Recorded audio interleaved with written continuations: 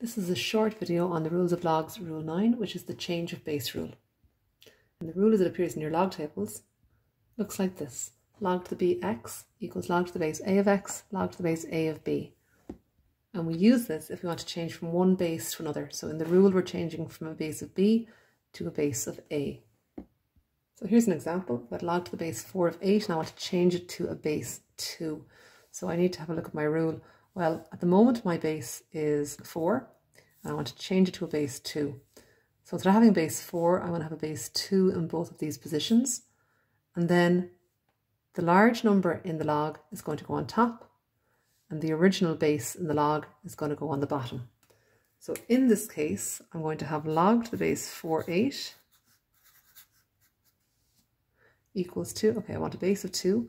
Log to the base 2 on top I'm going to have this big number, the 8, over, and on the bottom again I'm going to have the same 2, the log that I want to end up with. So log to the base 2 of my original base 4. Now, if I'm just changing base, I've changed the base, I could continue on and evaluate. If I want to evaluate, well, I can evaluate log to the base 2 of 8, which comes out as 3, and I can evaluate log to the base 2 of 4, which comes out as 2. My answer is 3 over 2.